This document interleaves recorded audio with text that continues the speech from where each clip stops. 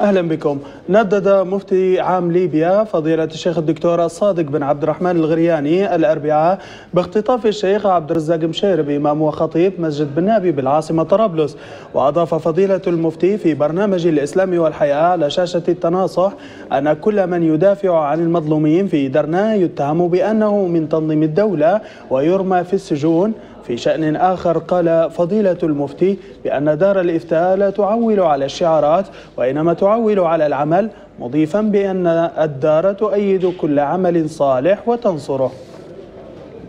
هذا ويتواصل اعتقال الشيخ عبد الرزاق مشير بإمام وخطيب جامع بالنابي لليوم الثالث على التوالي.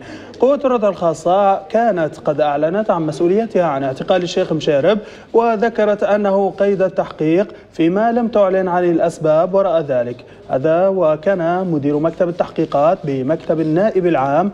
قد نفى صدور أي أمر بالقبض على الشيخ.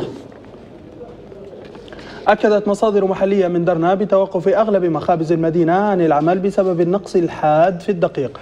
وقالت المصادر أن 80 مخبزا توقفت بشكل نهائي من أصل قرابة التسعين فيما تعاني المدينة من أوضاع معيشية صعبة نتيجة للحصار المفروض عليها من قبل ميليشيات ما يعرف بالكرامة والتي تمنع دخول كافة السلع الأساسية.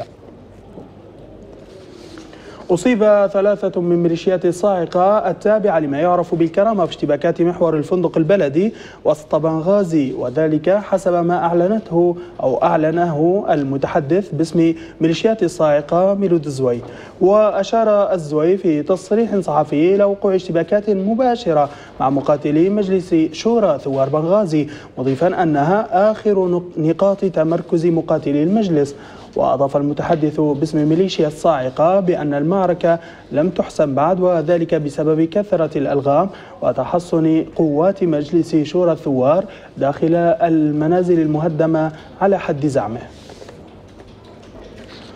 قالت نائبة رئيس الاتحاد الأوروبي فيدريكا ريكاييري إن بعثة المساعدة على الحدود التابعة للاتحاد الأوروبي تخطط لتقديم بعثة تدريبية واستشارية في ليبيا. النائبة أوضحت أن البعثة ستكون في مجال إدارة الحدود وإنقاذ القانون وإنفاذ القانون عفوا ودعم نظام العدالة الجنائية.